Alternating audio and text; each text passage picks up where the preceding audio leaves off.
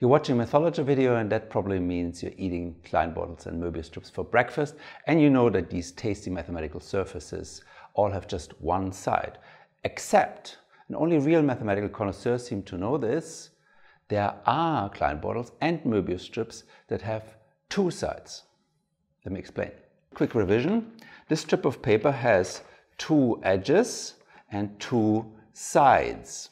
To make it into a Möbius strip, what I have to do is to bring the ends together such that the edges combine into one long edge.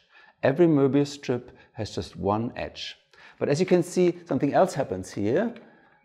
As I bring the ends together, also the two sides combine into just one side. So this is a Möbius strip that has one side.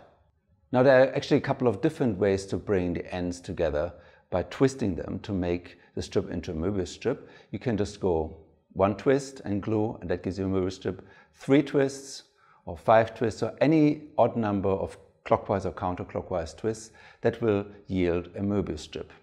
Now all these Möbius strips have just one side. If you do an even number of twists and then glue, you get one of these surfaces. They all have two edges and two sides. Now these are not Möbius strips. These are called topological cylinders or just cylinders. Now I claim there are ways to bring together the end into Möbius strips that are two-sided. Hard to imagine. How is that miracle possible? well, it turns out that the number of sides of a Möbius strip, or actually of any 2D surface, depends on which 3D space, which 3D universe it is contained in and how exactly it is contained in this 3D universe. Now most people think that 3D just means XYZ space, what you deal with in school or at university, but there's actually infinitely many 3D universes, mathematical 3D universes, and we actually don't know which one of these mathematical universes describes the universe that we live in. Now, quite a few of you will actually have heard that our universe may be a Pac-Man universe, which means that there may be a direction, special directions. If I head off in this direction, just keep going straight, I will get back to where I started from. So let's just assume we are inside a mathematical universe that has this property. And let me introduce you to my math cat mascot, the QED cat. Well, actually, there's a bit of dispute at home whether this is a cat or a chihuahua, but no matter. Let's just launch it in this special direction on its space surfboard and see what happens. So as the cat travels along, the surfboard actually generates a strip. Okay, now keep going, keep going. Eventually it gets back to where it started from, there. And now it wants to turn the strip into a Möbius strip and you can see, well, to create this one long edge, what we have to do is we have to kind of flip upside down and keep moving forward. Okay, so we're creating a twist like this. And you can see the Möbius strip that we've actually created here is just one of those one-sided Möbius strips, so nothing new here. Now, in a more fancy universe, something else can happen. So let's just do this again. So QED cat heads off again. We leave one of those ghost images behind. It gets back to the starting position, but now something else has happened. It's actually turned into its mirror image. Now that's unusual. And now you see, to create this one long edge, to create the Möbius strip, the cat has to just keep on going. It doesn't have, to do any of those upside down acrobatics. So just like this, and we've created a Möbius strip. And obviously that Möbius strip is two-sided. So if we put an anti-cat on the other side and have QED and the anti-cat run around on those two sides, they'll never meet. Once you've got one of those strange mirror reversing trips, all sorts of other nice things start happening. So for example, the cat gets back to the starting position, it's mirror reversed and it wants to eat some of its cat food. Uh, but actually that's no longer possible because mirror reversing happens at a molecular level. And so the food and whatever processes the food in the stomach won't match anymore, won't happen. So to unscramble itself, the cat actually has to either backtrack or just do a second round and then it can eat. Also, once you have a two-sided Möbius strip like this, you can extend it into something solid. And this solid corridor is actually a real 3D counterpart of a 2D Möbius strip. You know, a lot of you may have wondered whether something like this exists. Well, there you go. And finally, what I want to show you is how you can use a mirror reversing path like this to create a one-sided cylinder. Now, usually cylinders are two-sided, right? So now let's just look at this situation again. We can now turn this strip here into a cylinder by just doing a twist. Twist like this creates two edges. We're dealing with a cylinder, but as you can see, this is a one-sided surface. So at this point, what you really want me to show you is one of those mirror reversing paths in our real universe, or at least in a, in a mathematical universe that I can kind of hold in front of you. But that's actually very hard to do because no matter what you do in the XYZ space, round trip wise, you'll never mirror reverse yourself. That also means that we cannot have a copy of one of those mirror reversing universes inside XYZ space. So it makes it hard to describe. But what I can do is I can show you the analog of one of those one-sided cylinders, a 2D analog. And for that, I need a flat cat. Now, what's a counterpart of a cylinder in a 2D world? It's just a circle.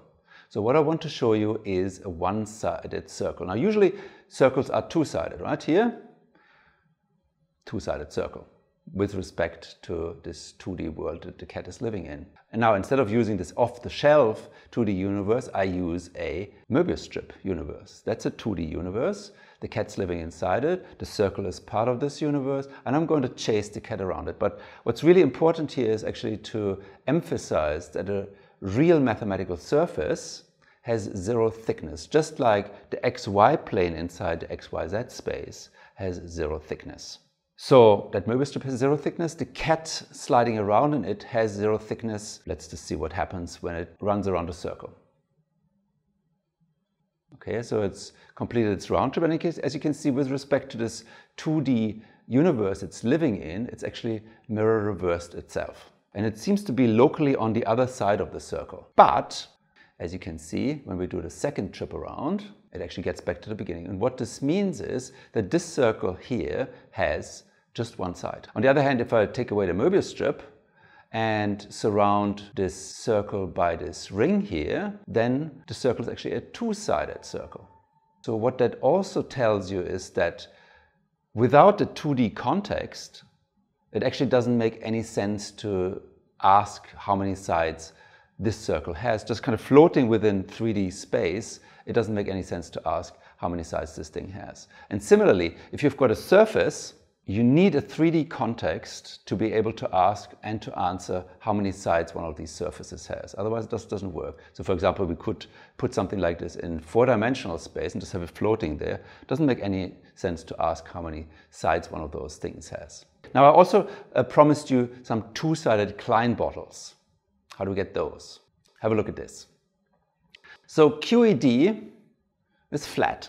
So it can't really see a Möbius strip, but it wants to play with it anyway. So it can do this a la Pac-Man. It's not ideal, but it's good enough to, to visualize what's going on.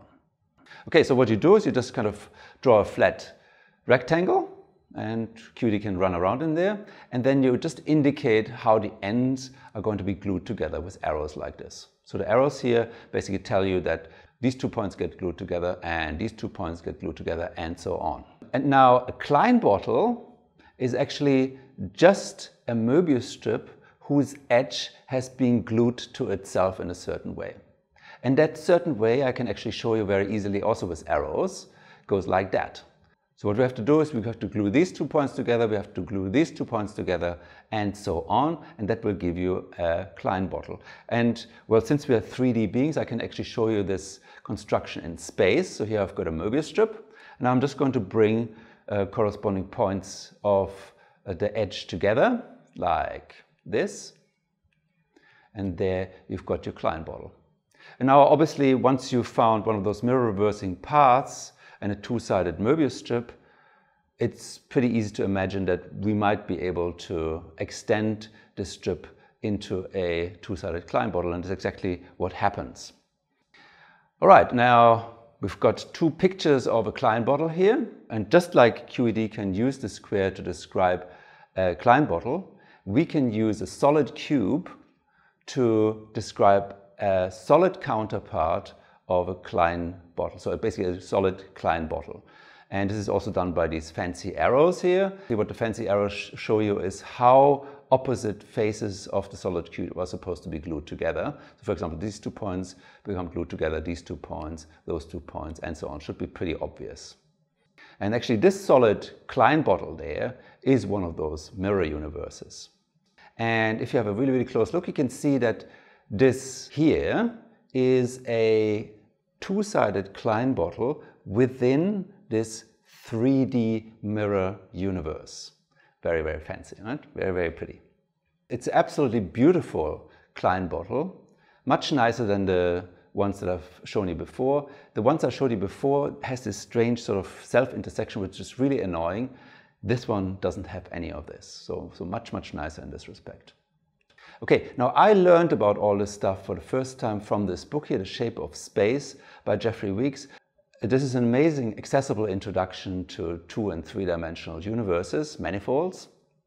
I really recommend it to everybody here. Jeff's also created some amazing pieces of software, totally free, that you can download from the website I'll link in from the description.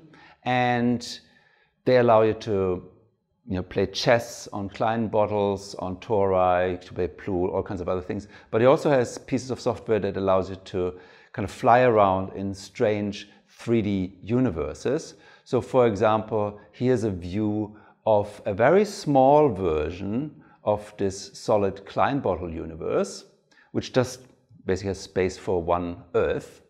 And as you kind of look around, because of the way it kind of connects up to itself, you can actually see yourself, see Earth over and over, not only Earth, but also the mirror image of Earth. And you know, I leave it to you to kind of figure out how exactly this works, how how exactly the pattern of Earth and mirror Earth comes about. Now there's a lot more to be said about all this, so four-dimensional stuff. I may say a little bit about this in the description. Also, I'll definitely come back to these strange 3D universe and make another video about that. But for the moment, I'd just like to say uh, thank you very much for all your support throughout 2016 and Happy New Year to all of you and I'll see you again soon.